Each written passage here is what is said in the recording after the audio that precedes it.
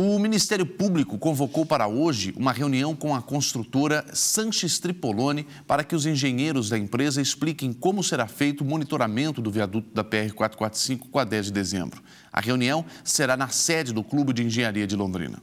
O DR também deve participar da reunião. Um relatório feito por uma empresa independente avaliando a situação do viaduto deve ser apresentado. A pedido do Ministério Público, no dia 7 de fevereiro, a Justiça determinou a paralisação da obra até a apresentação do plano de monitoramento.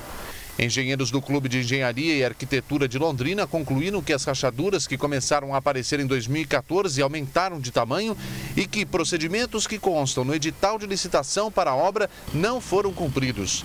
Segundo a Sanches Tripolone, a estrutura do viaduto vem sendo monitorada desde junho do ano passado. Em nota, a construtora informou que o acompanhamento é feito por um engenheiro da construtora, depois avaliado por um engenheiro do DR, usando um equipamento que verifica se houve ou não deslocamento da estrutura.